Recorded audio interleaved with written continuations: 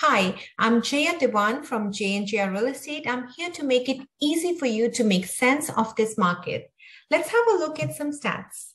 416 homes sold in Mississauga in October with a median or midpoint sale price of 900,000 and an average sale price of 985,000. Homes sold on an average in 23 days and buyers got an average of 3.5% discount off the list price with about 18% of home sales above asking.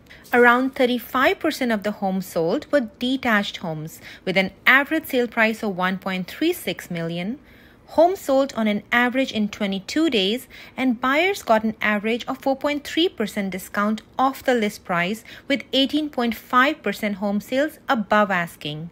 The most dominant price range was 1.25 million to 1.5 million, and also 1 million to 1.25 million. Around 13% of the homes sold were semi detached homes, with an average sale price of just over a million.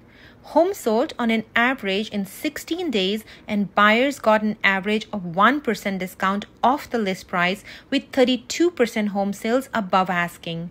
The most dominant price range was 1 million to 1.25 million. Only 3% of the homes sold were freehold townhomes, with an average sale price of 980,000. Homes sold on an average in 22 days, and buyers got an average of 9.2% discount off the list price, with about 23% of home sales above asking.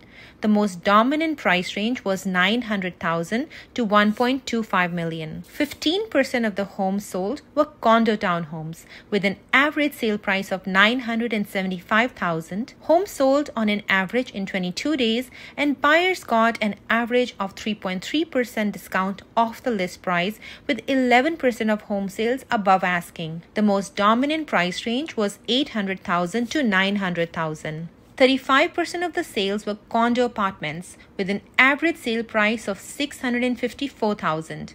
Condos sold in an average in 28 days and buyers got an average of 3.1% discount off the list price with 15% sales above asking. The most dominant price range was 500 to 600,000. So when buying or selling, the power is in the market stats. You can schedule a free consult with us through our website, askjay.ca, or call us at 647 210 7653. Thanks for watching.